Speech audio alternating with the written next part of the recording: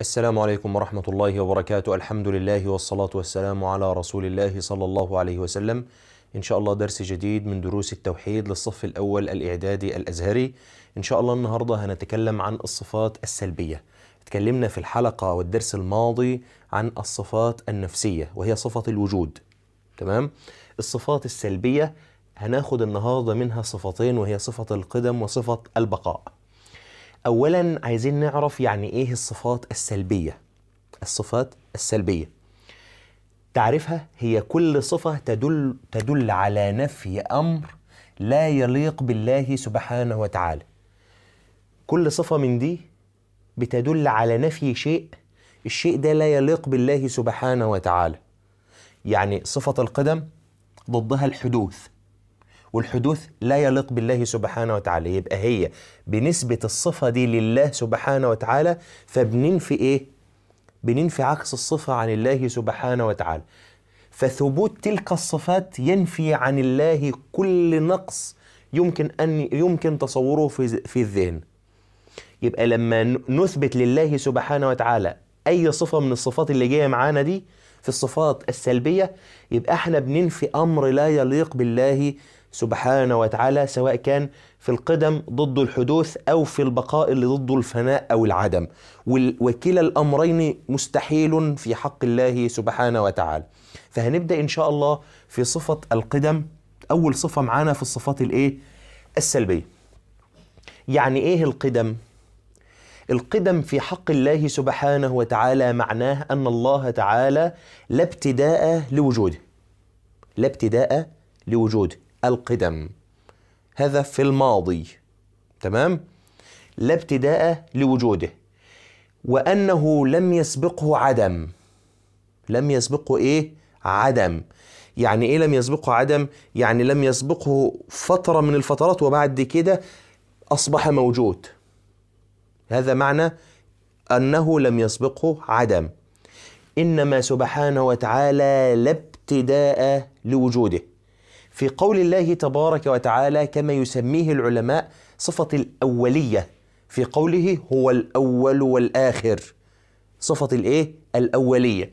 يبقى معنى القدم أن الله تبارك وتعالى لا ابتداء لوجوده.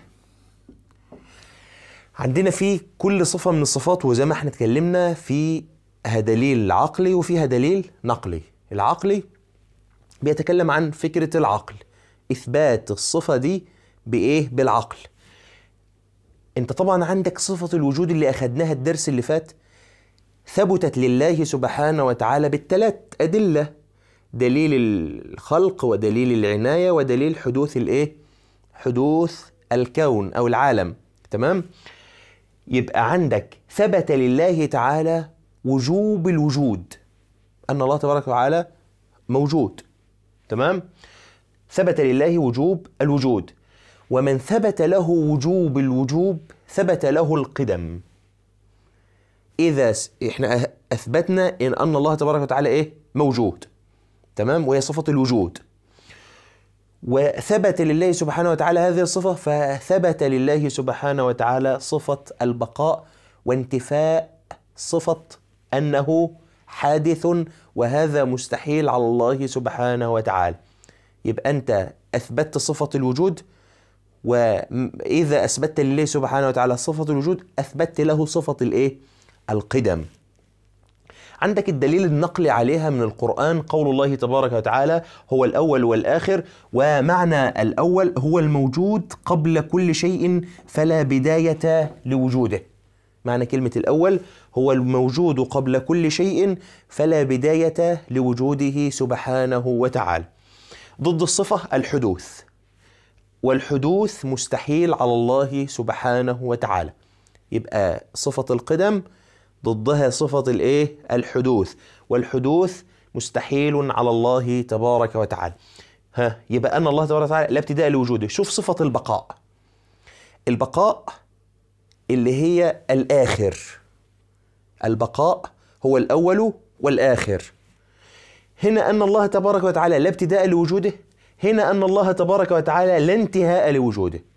أمر بسيط اربط بين الحاجتين. هتبقى كده عرفت تعريف الصفتين وبدأ العقل بتاعك يعرف الأمر. يبقى القدم أنه لا ابتداء لوجوده. البقاء أنه لا انتهاء لإيه؟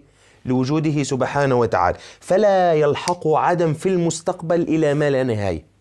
دي اسمه إيه؟ البقاء.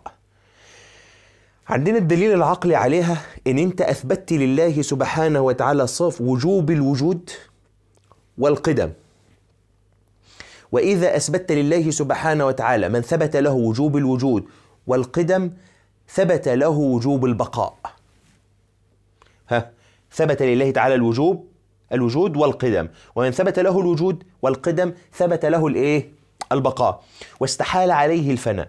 فانعدام ذاته مستحيل في الماضي والحاضر والمستقبل لتناقضه مع الوجود. الدليل النقلي قول الله تبارك وتعالى كل من عليها فان وقول الله تبارك وتعالى كل شيء هالك إلا وجهه وكلمة وجهه يقصد بها الذات العلية. ضد البقاء الفناء. والعدم وكلاهما مستحيل في حق الله سبحانه وتعالى. ده بالنسبة لصفة القدم وصفة البقاء. يتفضل إن شاء الله صفة المخالفة للحوادث وكده إن شاء الله ينتهي الفصل الدراسي الأول وإن شاء الله الصفتين سهلين. وصفة المخالفة للحوادث هتبقى إن شاء الله في الحلقة القادمة. أسأل الله الكريم الحليم أن يجمعنا دائما على الخير. والسلام عليكم ورحمة الله وبركاته.